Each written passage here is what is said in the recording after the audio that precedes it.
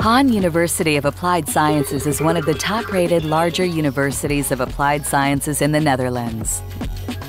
From our campuses in Arnhem and Nijmegen, we provide 65 bachelor's courses and 21 master's courses to approximately 30,000 students. We currently boast 2,650 international student enrollments from over 70 different countries. University of Applied Sciences is a university that is uh, geared towards practice. So we offer education and research um, in line with what our fields are asking for. We offer a broad range of uh, masters in, in a variety of subjects. Just to name two examples, one is the Master of Control Systems Engineering and another one is the Master of Molecular Life Sciences. I'm Lauren Solomon. I'm from Indonesia and I'm studying International Business and Management. I'm Nevena Semova. I come from Bulgaria and I study International Communication at HAN Arnhem Business School. The German border is just 20 minutes away by car. Most of our graduates will come into contact with German businesses. They will have German customers, German suppliers, or they will spend part of their working lives in Germany. We are very close to Germany, it's around the corner, so to speak, and that is why we feel it should be embedded in the curricula. Um, it's also the reason why we work together with uh, German um, universities and with German employers.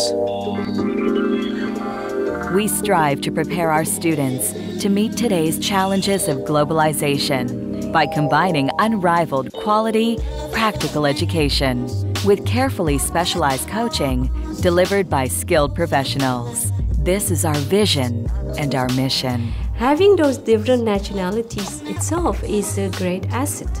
And combining those will always turn into some new idea. So that's the challenge, but it's one of the things we need to do if we really want to foster entrepreneurship. If you compare it with other universities of applied sciences, we have built a whole tradition in entrepreneurship education and training. So, uh, people who graduate from our university are very well prepared to um, not only work in a certain environment but also to innovate uh, that environment. Young students, they just do what they feel, and that's what we need. You start with it, and if you make a mistake, no problem. Just do it. Uh, since our start in 2003, we work with students from the HAN. In the last two years, we started with international students. For example, Olga is from Russia. She uh, explores the, the, Russian market and the Kazakhstan market for us. And without her, it's hard to enter there because we cannot speak Russian. My name is Dwight Descartes. I'm originally from Aruba and I'm studying International Business and Management. I'm Cicely Dibao. I'm from China and I'm studying Automotive Engineering at HAN. Research plays an important role in the education offered at HAN. We believe it is a necessary condition for educating professionals and for keeping up with and initiating developments in professional practice. Automotive is about developing, designing, constructing, testing uh, automotive vehicles, but also in a wider setting of mobility. So we also look at the distribution of cars, we look at the service and maintenance, marketing studies, marketing approach. We work together with the larger companies like uh, DAF and Bosch and we develop knowledge there. And then we work with the smaller companies and mostly there we bring the knowledge. And next to that we try to uh, help the environment here uh, with developing cleaner vehicles that uh, use less fuel. We created for the police forces a kind of a health portal, uh, which we have connected to a huge database. Together uh, with that questionnaire, we also do the health examination, and we do that with a mobile truck. Uh, within that truck, we have several uh, labor-related tests, and via this method of working, we, we, gather a lot of data, and where we can also uh, do uh, scientific research on it.